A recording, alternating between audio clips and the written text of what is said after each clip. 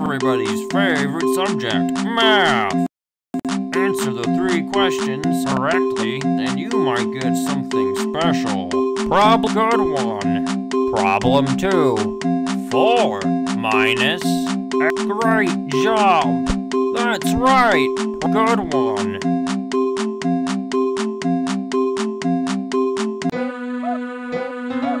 You did great. Come here and get your prize. A shiny quarter.